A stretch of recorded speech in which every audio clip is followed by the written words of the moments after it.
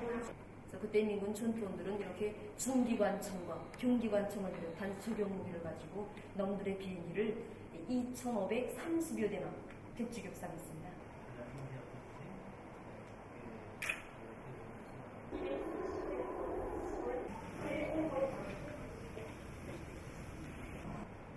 그리고 이렇게 직사포를 고속도를 적치기도 했습니다.